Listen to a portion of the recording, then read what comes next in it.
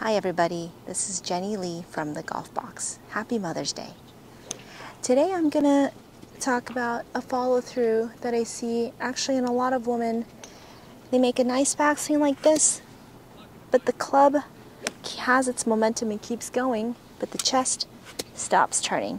So then you have kind of this chicken wing here, and you're gonna lose consistency, speed, and power in your golf swing. So what I like to feel is make a nice backswing and I like to feel like my chest is going towards the target and my hands and club are in front of my chest as much as possible.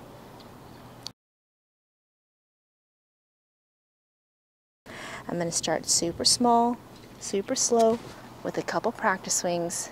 Again, chest pointing towards the target in the follow through, shoulders keep turning, club and hands in front of me as much as possible.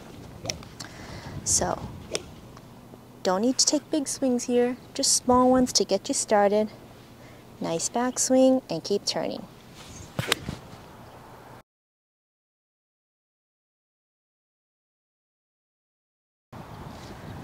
Okay, you could practice this at home. You could actually practice this in front of a mirror.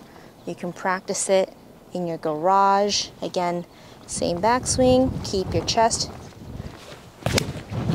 turning.